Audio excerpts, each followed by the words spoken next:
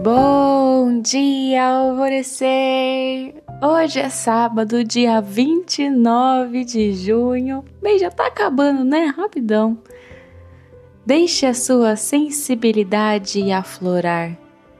Acolha as novas oportunidades que surgem no horizonte a você. Tem uma frase que meu pai me disse quando eu era adolescente que me marcou muito. Oportunidades na nossa vida muitas vezes aparecem a nós como um cavalo selado a correr. Quando um desses aparecer na frente dos seus olhos, não pense demais, só vai. Monte nesse cavalo e vá viver o que a vida está te trazendo de novo. Grandes transformações acontecem assim, sabia? Corra. Pegue o que é seu e o que a vida está te oferecendo. Você é merecedora e não irá se arrepender. Não deixe de forma alguma essa oportunidade de novas construções e da manifestação da felicidade em sua vida passar. A afirmação do dia é: tomo as rédeas das oportunidades em minha vida e corro com a coragem ao meu lado.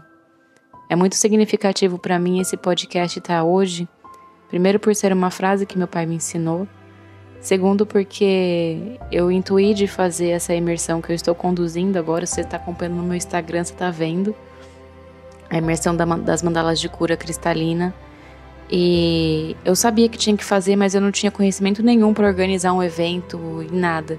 Até que uma das alunas do portal, a Mônica, maravilhosa, sou muito grata, me ofereceu de me ajudar a fazer essa imersão acontecer. E nós fizemos acontecer. Então eu peguei esse cavalo, esse cavalo que estava selado correndo na minha frente quando ela me ofereceu essa ajuda.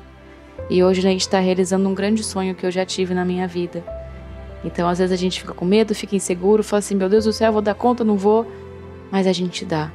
Chega uma hora que acontece que dá tudo certo. Então, agarre as oportunidades que estão aparecendo aí para você.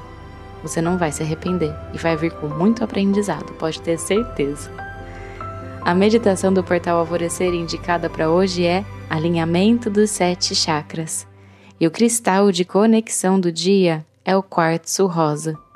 E eu Sou a Gabriel Rubi, sua guia nessa jornada rumo ao seu alvorecer.